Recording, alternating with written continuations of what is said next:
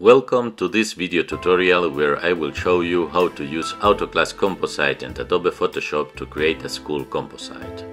First, at your open document in Photoshop, select the shape layer that will serve as a model. Then, an AutoClass Composite, click at Create Target Layers at top right. This will open a window with a preview of your document in Photoshop and a green rectangle to indicate the place and size of your shape layer. Now input the number of images you need for your composite and AutoClass will automatically create a, a distribution for them. Drag the blue lines in the preview area and AutoClass will modify the distribution for you. This is automatically done. You may also change the shape layer size in a percentage of the original shape layer and each time, remember, each time you move uh, the blue lines, you set a new number of images, you set a new uh, shape layer size, AutoClass will make a new distribution for you. This distribution is uh, defined into rows and columns and it is shown in this list. You may change the number of images per each row, but make sure that the total, the sum of them, should match the number of images for your composite. You may easily add new columns, uh, new rows to the design using the plus and minus buttons in the list, minus for removing um, rows, you only need to input uh, the number of images and the shape layers to get a new calculation, a new distribution.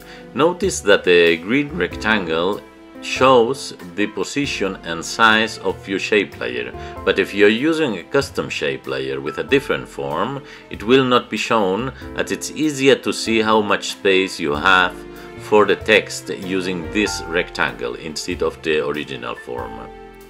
Remember that the plus and minus buttons at the bottom of the rows list is for adding new rows and setting the number of images in these rows. But make sure that the total matches the input number of images for your composite. Once you are happy with the design of your composite, click at Generate Shape Layers and the application will create for you these shape layers in Photoshop.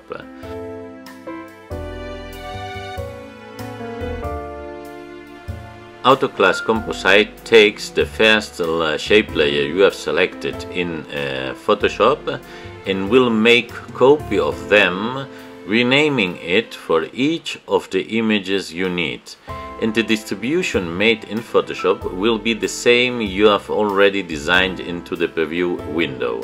This way, way it's very easy to create a composite distribution. Please remember that in case you need to move one of the shape layers later in Photoshop, you can still do it using the Move tool in Photoshop and even the auto alignment features included with the Move tool. Once you have finished uh, the design in Photoshop, AutoClass will select the first uh, shape layer for you, but you may start at any of the shape layers by selecting it, and then at AutoClass you have to select the folder with the images. The number of images in the folder will be shown in the application and you can set the distance between the image and the text and how much width is the text box at bottom of the image and then click at fill composite.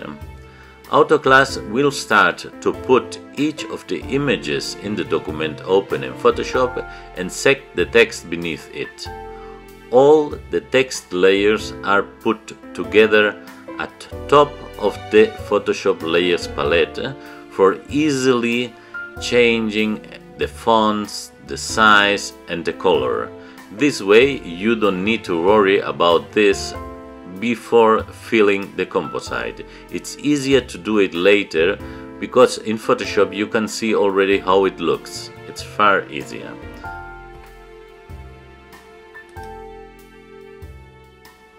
As you can see, Using AutoClass Composite and Photoshop, it's very easy to create your uh, school and team composites. Just a few steps. First, distribute the shape layers using the integrated tool in AutoClass Composite and later fill the composite with your images. You only have to select the folder and AutoClass will care about sorting them and inputting them into Photoshop. At our website you will uh, find a user's guide for easily understand how to write the names of the files to be used and how to sort them. AutoClass Composite and Photoshop, the easiest way to create class composites.